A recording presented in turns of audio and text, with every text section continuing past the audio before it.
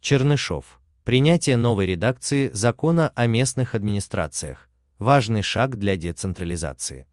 Принятие новой редакции закона о местных государственных администрациях, которая сейчас готовится ко второму чтению в парламенте. Важный шаг для продвижения реформы децентрализации. Об этом заявил министр развития общин и территорий Алексей Чернышов во время выступления на Конгрессе местных и региональных властей в городе Днепр, который состоялся под председательством президента Владимира Зеленского. Кроме того, глава Минрегиона обратился к народным депутатам с просьбой рассмотреть соответствующий законопроект в ближайшее время. Сейчас мы работаем над усовершенствованием законодательства в рамках действующей Конституции.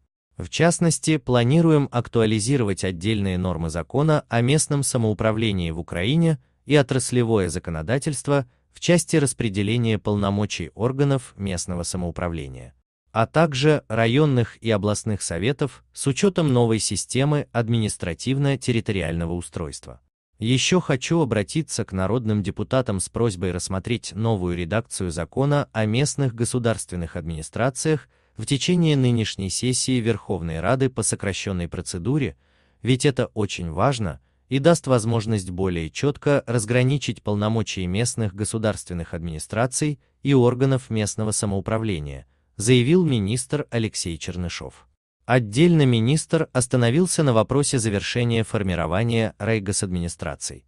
В частности, отметил, что кроме привлечения профессиональных кадров, РГА должны перейти от традиционного администрирования к партнерству с органами местного самоуправления. Одна из главных задач – оказание помощи общинам в их деятельности, особенно тем, что были образованы в прошлом году и не имеют достаточно опыта.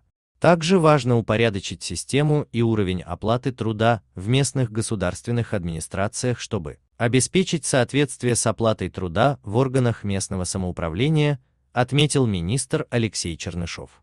Напомним, ранее глава Минрегиона Алексей Чернышов подчеркнул, что для успешного завершения реформы децентрализации необходимо внесение изменений в Конституцию Украины.